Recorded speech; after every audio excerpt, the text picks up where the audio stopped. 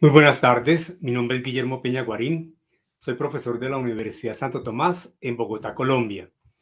Agradezco mucho a los organizadores de la Conferencia Internacional sobre Conocimiento, Cultura y Cambio en las Organizaciones, al doctor William Coe, presidente del Common Group Research Networks, y en particular a la doctora Tamara Gorazanquina eh, del comité organizador eh, por todo su apoyo para llevar a cabo esta presentación. Me permito compartir con ustedes mi pantalla.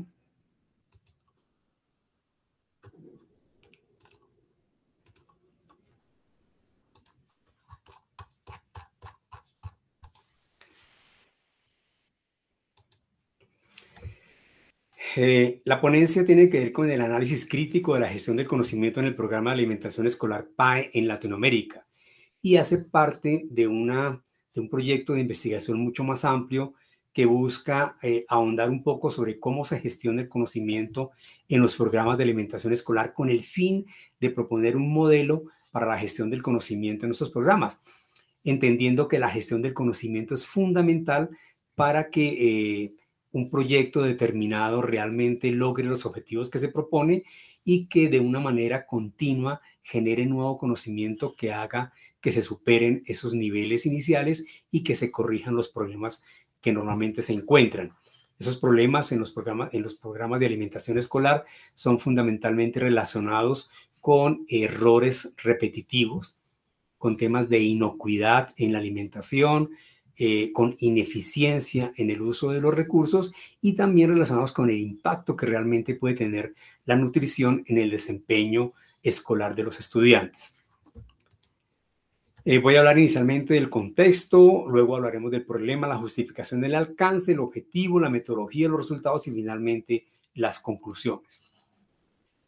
Eh, la CEPAL hace mención a que el programa de alimentación escolar, eh, ¿cuál es la razón? Dice que la malnutrición entendida por déficit o por exceso, por déficit en algunos países como en los países latinoamericanos. En países desarrollados el problema es por exceso una malnutrición por exceso que genera sobrepeso y obesidad y después otro tipo de enfermedades. Este, esta malnutrición impacta negativamente los objetivos del desarrollo sostenible en el mundo. Es decir, que el tema de la alimentación escolar es algo que impacta a todo el mundo, afecta el desarrollo de los niños con respecto a sus habilidades físicas, sus destrezas, pero también a su crecimiento mental. Eh, en una investigación que hicieron Lane y otras personas en el 2020, encontraron que ese ambiente escolar es muy apropiado para combatir la, malnutrición, pues porque en, esa investigación que hicieron encontraron que por lo menos hay 180 días del año en que los niños van a la escuela y allí eh, en ese ambiente es posible generar buenos hábitos. Eh, la Organización de las Naciones Unidas para la Alimentación y la Agricultura, la FAO, y el Programa Mundial de Alimentos, la WFP, por sus siglas en inglés, concluyeron que el programa de alimentación escolar contrarresta la problemática de seguridad alimentaria, influye en la vida sana, garantiza la alimentación de los niños en las escuelas y aporta al desarrollo económico de la sociedad. Si tenemos una infancia y unos adolescentes bien nutridos, eso va a impactar más adelante en el desarrollo de toda la sociedad. Pero algo muy fundamental es que el PAE también aporta al logro de los objetivos de desarrollo sostenible, fundamentalmente de los 17 objetivos a estos cuatro. Al primero, que es el fin de la pobreza.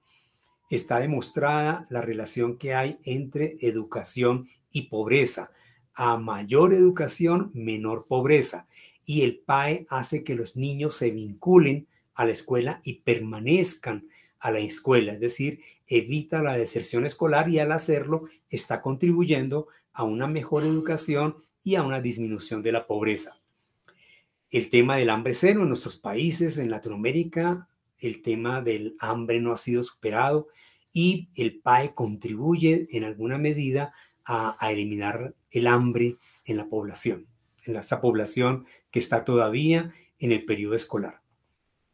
Eh, educación de calidad, que es el objetivo 4 de los objetivos de desarrollo sostenible, en la medida en que un niño bien nutrido, un niño que, que tiene eh, la suficiente capacidad para entender y para aplicar y para aplicarse en su estudio, pues estaría eh, generándose una educación de mejor calidad que un niño desnutrido que no puede atender a clase.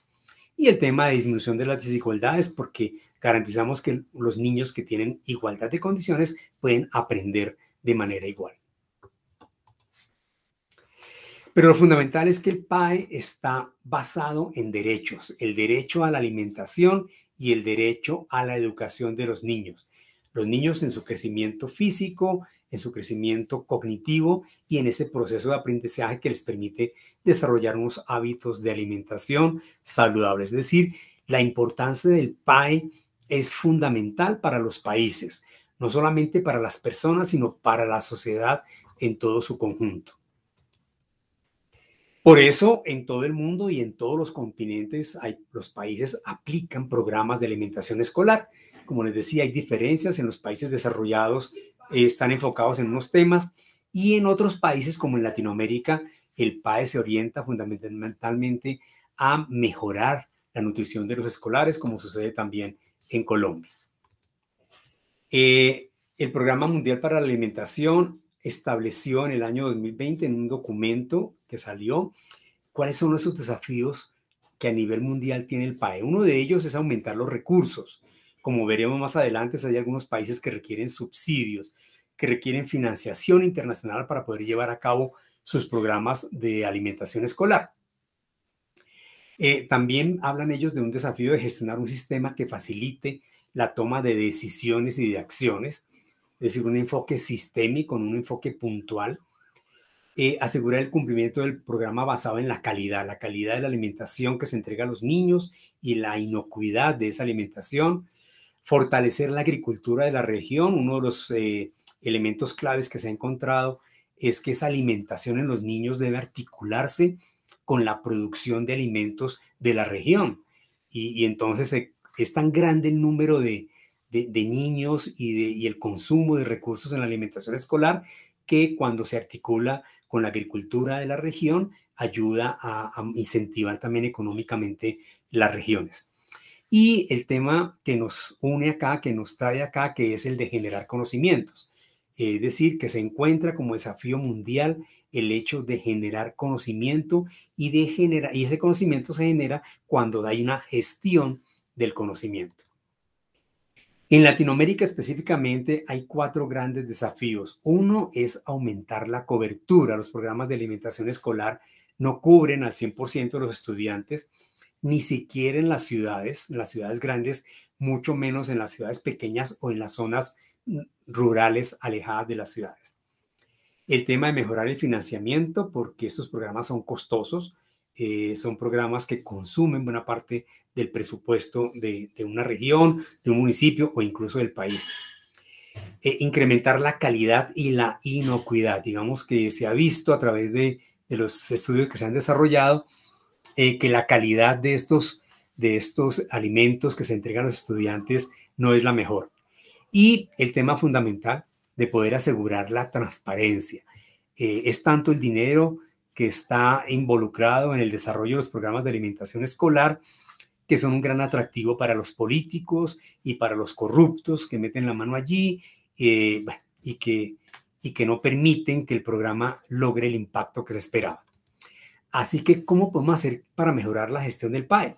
Bueno, hay muchísimas esquinas, muchísimos ángulos desde los cuales hay que trabajar para mejorar la gestión del PAE. Pero uno de ellos, que es fundamental, porque es transversal a todo lo que se hace eh, en, el PAE, es la gestión del conocimiento.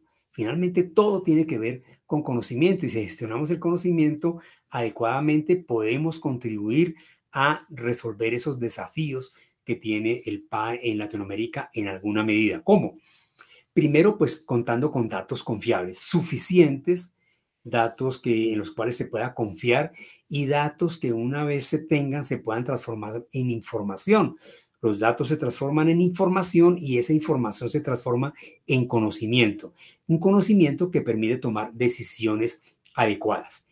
Cuando se tiene organizada esa, esa, esa secuencia de información, datos y conocimiento, se espera entre comillas, blindar el PAE. ¿Qué significa blindar el PAE?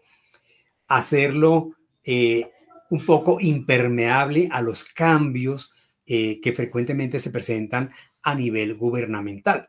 Todos sabemos de, que cada gobierno trae sus políticas y quiere implementar sus políticas, quiere, tiene su propio punto de vista y cada director en Colombia, en cuatro años de gobierno, casi llevamos tres directores del programa de alimentación escolar a nivel nacional, a nivel regional, cambian con mayor frecuencia.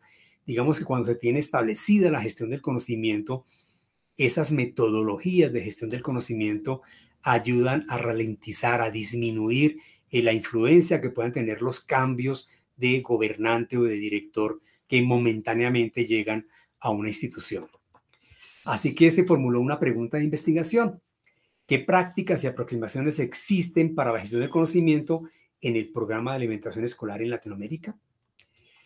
Y eso nos llevó a formular el objetivo, analizar las prácticas y aproximaciones a la gestión del conocimiento en el programa de alimentación escolar PAE en Latinoamérica. Como metodología se escogió una revisión sistemática de literatura. Eh, se escogieron algunas palabras clave en idioma inglés, school food, food in the school, knowledge management, school canteens and, nutrition. Y con operadores booleanos eh, se comenzaron a, cruzar estas palabras y finalmente buscando en bases de datos como Scopus, Science Direct, JSTOR y en literatura gris se encontraron algunas referencias, algunos documentos. Eh, luego se plantearon unos criterios de inclusión y de exclusión, mirando fundamentalmente que fueran documentos entre 2011, bueno, se escogieron documentos entre 2011 y 2020 como eh, eh, criterios de inclusión, pues que hablaran del PAE y mencionaran también gestión del conocimiento. luego del análisis inicial, pues se excluyeron 426 y se analizaron 48 documentos que específicamente tenían que ver con el tema que se está investigando. Para llevar a cabo el análisis de esos documentos, entonces se acudió a una matriz RAE y esa matriz RAE eh, incluyó columnas para la teoría de la creación del conocimiento de Nonaka y Takeuchi. Eh, Nonaka y Takeuchi propusieron en 1995 una teoría para la gestión del conocimiento eh, que a través de la revisión literaria se encontró que era la más utilizada, la más apropiada, porque además tenía un enfoque sistémico, eh, que ese enfoque sistémico coincide con la visión que tiene la maestría en calidad y gestión integral en relación con las organizaciones, que vea las organizaciones como sistemas sociales abiertos. Esa compatibilidad con la teoría Nonaka y Takeuchi y digamos que las referencias que se encontraron en la literatura eh, nos permitieron adoptarla para hacer la comparación. Estamos utilizando, haciendo la comparación, confrontando la teoría Nonaka y Takeuchi con lo que plantean los diferentes documentos para hacer el análisis. Voy a hablar muy brevemente de esta teoría Nonaka y Takeuchi. Estos autores proponen que la creación del conocimiento en las organizaciones tiene que ver con una dimensión epistemológica. ¿Qué se puede conocer? Y ellos dicen que se puede conocer, hay, un conocimiento tácito y hay un conocimiento explícito. Y una dimensión ontológica, ¿quiénes pueden conocer? Y ellos dicen que pueden conocer los individuos, los grupos de individuos, las organizaciones como tal, o un conocimiento que ya es compartido entre organizaciones. Y el cruce entre esa dimensión epistemológica y esa dimensión ontológica, pues hace que el conocimiento vaya creciendo paulatinamente en algo que ellos llaman la espiral del conocimiento. Dicen que esa, esa eh, creación de conocimiento se hace en cuatro fases. Y esas fases las llaman la socialización, la exteriorización, la combinación y la interiorización.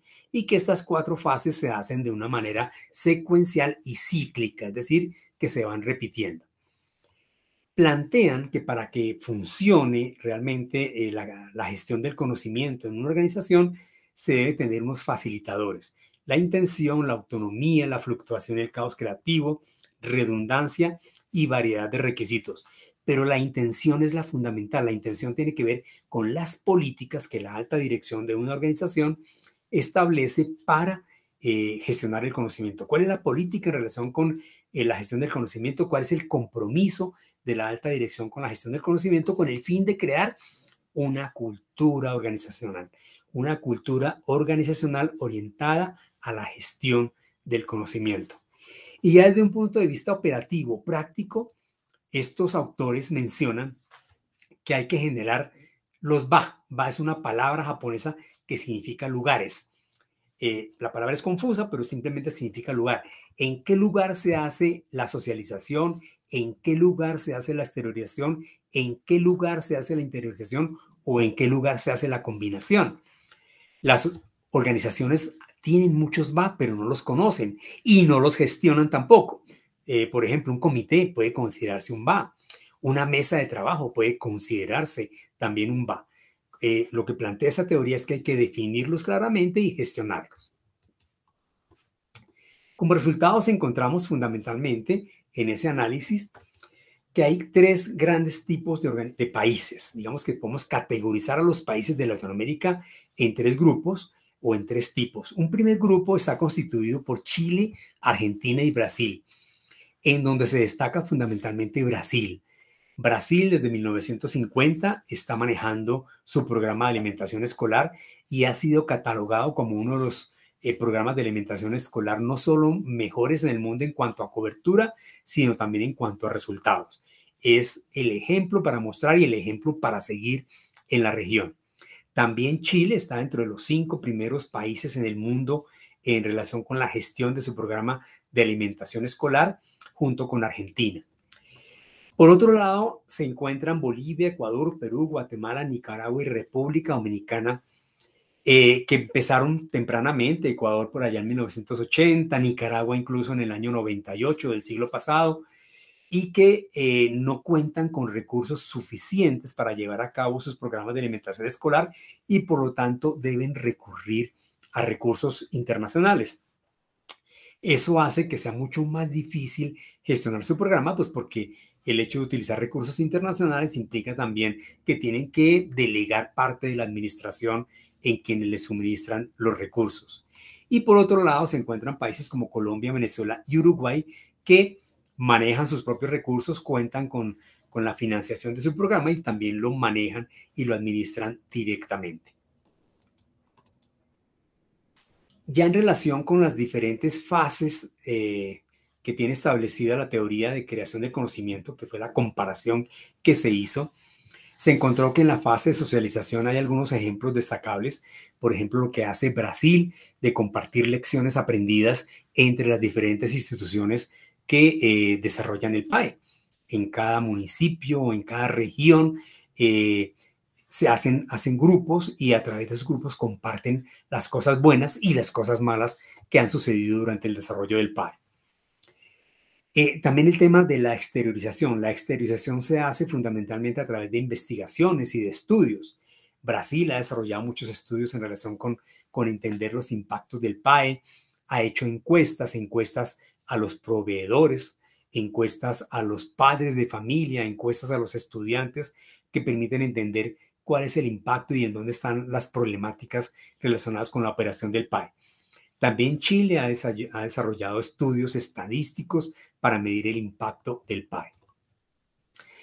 Desde el punto de vista de la combinación, nuevamente Brasil eh, va adelantada en el tema desarrollando instrumentos digitales que permiten tener datos en línea de cómo está operando el PAE, que permiten hacer seguimiento a lo que está ocurriendo con el fin de ser eh, tomar eh, acciones tempranamente y no tardíamente, y instrumentos que incluso permiten la supervisión por parte de los padres de familia, un tema supremamente importante porque son los padres quienes mejor pueden hacerle seguimiento y vigilancia al programa del PAE. En el tema de la interiorización eh, está el proyecto de escuelas sostenibles también en Brasil, y algo muy importante que se encontró son las normas de nutrición para el PAE. Son eh, menús establecidos que hablan de cuáles deberían ser como esos elementos clave para llevar a cabo la nutrición dependiendo pues de la región. Eh, un elemento muy interesante que se, que logró encontrar. Sin embargo, desde el punto de vista de facilitadores, tal como lo plantea la teoría Nonaka y Takeuchi, pues no se encuentra una referenciación explícita o algo que se pueda asemejar a esos facilitadores eh, toda todo se, ve desde un punto de vista operacional, pero no desde el punto de vista cultural.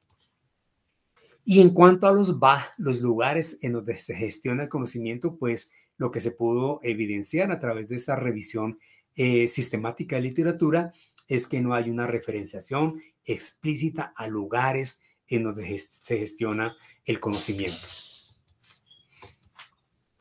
Ya desde el punto de vista de modelos, encontramos eh, eh, un documento muy importante, muy interesante, elaborado por Simón Díaz y otros compañeros en el año 2020.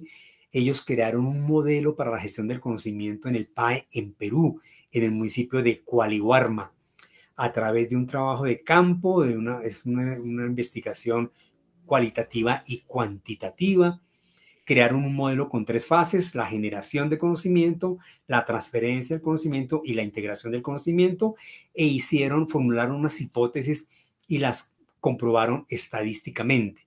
Ellos encontraron eh, unos facilitadores para la gestión del conocimiento, fundamentalmente el tema de la motivación del personal. La gestión del conocimiento tiene que ver con el componente humano de la organización. Y si las personas no están motivadas para hacer la gestión del conocimiento, pues no se va a lograr nada la forma de dirigir, el estilo de liderazgo que tiene la, dirección de una empresa es fundamental, digamos, para poder hace, hablar de la gestión del conocimiento.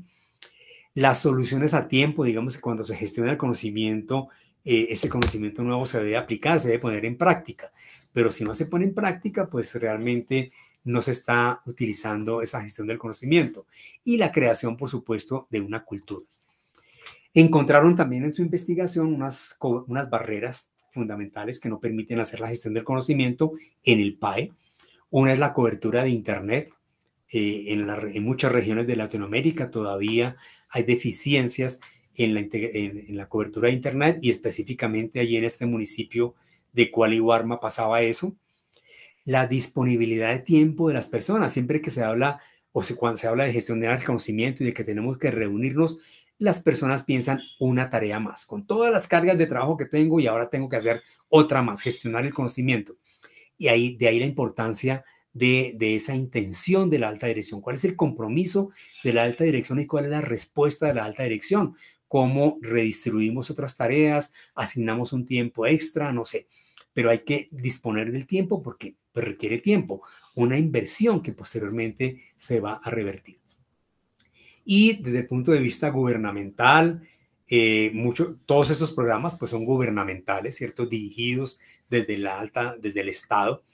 Y allí pues hay cambios permanentemente. Entonces la rotación del personal, que es quien tiene el conocimiento y se van con el conocimiento, es una barrera que hay que trabajar cuando hablamos de gestionar el conocimiento.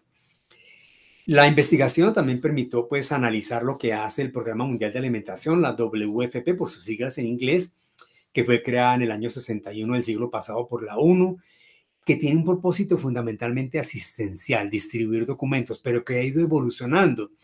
En el año 2018, junto con otras instituciones, eh, publicó un documento excelente, un documento fundamental que se llama Nutrir el Futuro. Este documento, Nutrir el Futuro, tiene un capítulo dedicado al PAE, específicamente a los programas de alimentación escolar.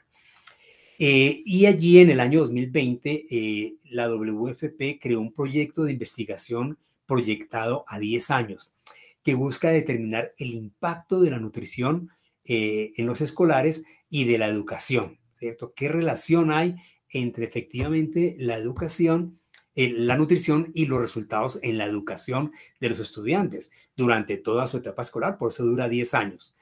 Y la WFP también ha enfatizado que ese conocimiento debe ser descentralizado, que no debe estar centralizado, sino que debe ser un conocimiento compartido en redes.